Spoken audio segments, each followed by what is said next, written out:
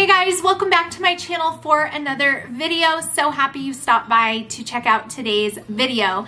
I told you guys in my most recent video where I put up my curriculum choices from The Good and the Beautiful that you would be seeing the same intro on all of my curriculum picks for the upcoming homeschool year. However, I accidentally deleted that intro. So here I am doing another intro. I am going to share with you guys the curriculum choices for each of my kids' grade levels 10, 9, 5, and 7 in a separate video that will be coming out on my channel each week. So if you're looking for ideas or just curious to see what we're going to be using in our homeschool, then definitely keep checking back and make sure you're subscribed. If you want to see what we're using specifically from The Good and the Beautiful, I already put up that video since there was quite a bit of curriculum from them. Go check that out. But I just wanted to get on and explain why I'm here again, giving an intro, but we are gonna jump into my curriculum choices for today. That will be in the title of this video. You can see which one it is there. This intro, I'm not gonna delete this one. It will be across all of the videos. So no more delaying. I will link everything I can for you guys down below. If you have any questions about the curriculum you see in this video, feel free to ask them. Leave me a comment down below. If you've used any of the stuff, let me know your thoughts on it, but we're gonna jump right in to curriculum. Okay, so fifth grade curriculum choices minus Bible. I'm going to make a whole separate video on different resources that I'm pulling together uh, to share God's Word with my kids aside from the Bible itself. We don't use a curriculum, so you're not going to see that here. But look out for that video as well as like the family subjects video if that's something that you are interested in. So for fifth grade, for history, if you watched my seventh grade choices video, I went into the explanation behind why I chose this course. So if you want to know that, go watch the seventh grade curriculum choice. I'm not going to go into why I chose this, but um, in this video, but I did in the seventh grade. So if you want to see why, go watch that. But for fifth grade science or history, oh my gosh, I've been filming lots of these videos.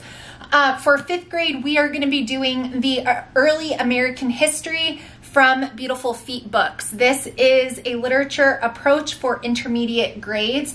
So this is the teacher's book, and um, since it's a literature-based curriculum, it comes with all of these books that will be in our morning basket, morning cart time that go with our history. So that is what we are going to be using for history for the fifth grade.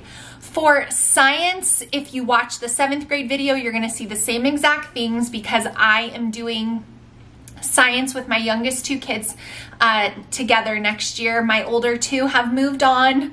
We don't do science together anymore. It's okay. Uh, for fifth grade though, we are going to be doing energy from the good and the beautiful. We are going to be doing beginning chemistry from the good and the beautiful. We are going to be doing maturation and reproduction from the good and the beautiful.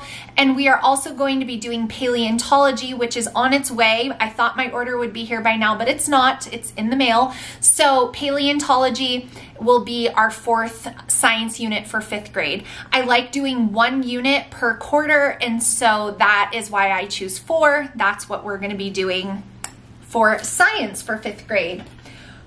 For math, we are going to be continuing using uh, Simply Good and Beautiful Math. This is Math 5. I have the Mental Math Map Mysteries and then the answer key. So I have all the things for math for her. She loves Simply Good and Beautiful Math. For her reading, language arts, writing, it is all summed up right here in the Good and the Beautiful Language Arts Level 5. This covers grammar usage, punctuation, art, geography, vocabulary, writing, and spelling. I have all the things that go with that, the geography and grammar cards. And then I have the boxed book set, which contains four uh, chapter books as well as the watercolor program uh, art component of that uh, language arts. That's why I love the good and the beautiful. There are so many good things in there and it never feels overwhelming. So she's gonna be doing that for language arts. She's also going to be doing handwriting level six. I also have level seven um, if she finishes this one early. And then she's going to be doing Wordly Wise book five. I like using Wordly Wise not because I feel like The Good and the Beautiful needs more vocabulary. It's just an extra thing she can do on her own that gets her brain warmed up and ready to learn. And we just do two pages a day. It's not a big deal. And I, I really like this. All of my kids use it. And then the last thing that I have for her is typing three. She finished typing two this past year.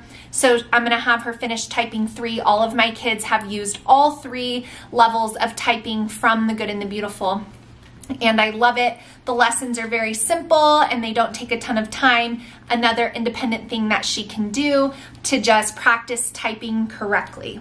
So that is everything that I am using for fifth grade and of course incorporating so many fun seasonal things, poetry tea time, all the activities you guys see me share. Uh, this is just the course book work and minus um, our Bible time and read alouds. I will do separate videos on those. This is just like the books that we're using, the curriculum we're using for fifth grade. I hope you guys enjoyed it. If you have any questions for me, leave them down below and I will get back to you guys. If you're looking for any of my other grade level videos, chances are they are up by now. So make sure you look through my most recent videos because I've done a grade level video for each of my kids. Um, and although I am sharing curriculum in each of those. I feel like I kind of say a little bit different things in each one. So it, like I said, in the seventh grade video, I kind of explain the history thing. Maybe I'll do a whole video on that. Maybe I won't. But if you're interested, go watch that and you'll see why I picked that one. Um, but read alouds, Bible, those things will be added onto this. So this is our coursework. So give me a thumbs up if you enjoyed seeing my curriculum choices. Let me know if we're using any of the same things and if you're excited about them. I hope you enjoyed hearing my choices and I will see you guys in my next video really soon. Bye guys.